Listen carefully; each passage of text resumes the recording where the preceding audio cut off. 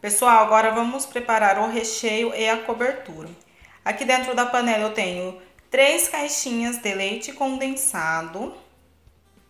E vou estar acrescentando duas caixinhas de creme de leite.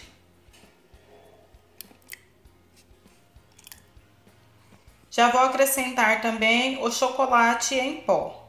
São seis colheres de achocolatado em pó.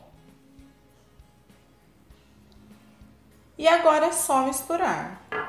Prontinho, gente. Agora é só levar para o fogo em fogo baixo e mexer sem parar até começar a desgrudar do fundo da panela. E olha, pessoal, como está ficando. Então, eu vou deixar mais uns 5 minutos e já vou desligar. Então, agora, pessoal, vamos para a melhor parte, que é cortar o bolo. Então, assim, aqui eu tenho uma faca grande. Para facilitar para vocês, peguem uma faca grande, tá? Essa daqui é uma faca de serrinha. E é melhor ainda esse tipo de faca. Então, vamos posicionar aqui no meio do bolo. Vocês mantenham a mão retinha, tá, pessoal?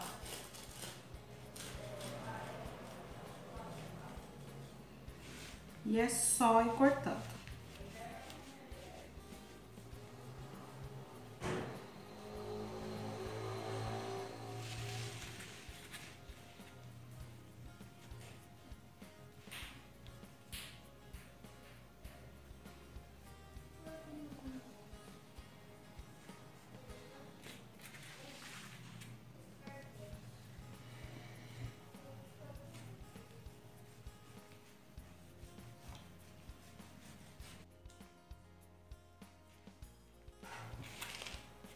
Agora, vamos ver se ficou certinho, né, gente? Se errar também, não tem problema, faz parte. Depois coloca o recheio, não dá nem pra perceber.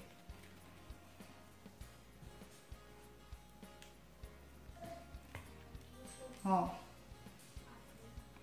Então, assim ficou, tá? Essa massa, ela é ótima porque ela não quebra. Vocês podem trabalhar com ela tranquilamente. Então, agora vamos voltar esse bolo para a forma que foi feito ele.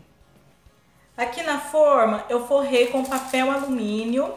E agora, a parte de baixo do bolo, vamos estar colocando aqui dentro. Eu fiz uma calda com água, leite e açúcar. Essa é a calda do bolo. Gente, eu umedeci muito bem esse bolo. Então, coloca bastante calda nesse bolo, tá bom? Agora, vamos estar colocando o recheio.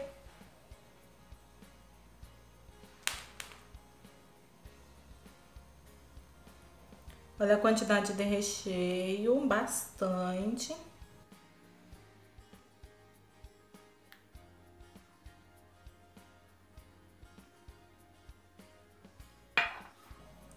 E agora é só espalhando.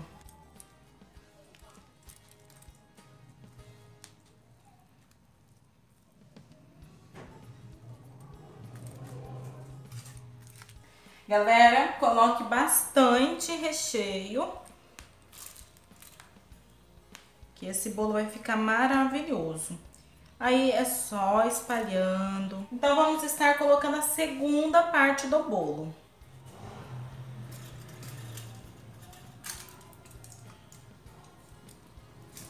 Esses branquinhos aqui de cima é a nata do leite. É só cobrir com papel alumínio.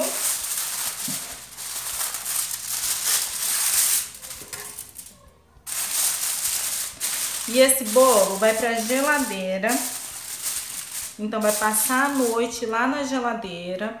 Vou finalizar ele amanhã. E, pessoal, vim mostrar o resultado do bolo para vocês. Olha que lindeza, gente. Então, na hora que vocês for tirar da forma, sai com muita facilidade, porque o papel alumínio não deixa o bolo grudar. Ah, o mesmo recheio eu coloquei um pouco aqui na cobertura. e fiz os brigadeiros. E, gente, olha que lindo ficou. Eu espero muito que vocês tenham gostado de acompanhar essa receita comigo. Espero que vocês façam aí também. E agora, para finalizar o vídeo, eu vou cortar junto com vocês. E olha como ficou dentro do bolo. E esse bolo ficou tão bom, mas tão bom, pessoal, que não deu nem para cortar o, o primeiro pedaço junto com vocês. Então, eu vim mostrar agora. Então, eu vou cortar aqui um super pedaço.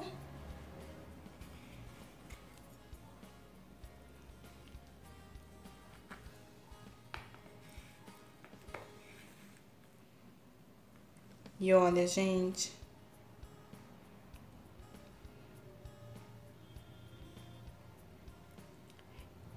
E pessoal, esse bolo ficou o resultado dele perfeito. A massa ficou bem fofinha, maravilhosa. E um bolo bem úmido, gente, faz toda a diferença. Então, umedeça bastante o bolo de vocês. Que vocês vão ter um resultado incrível, olha, gente.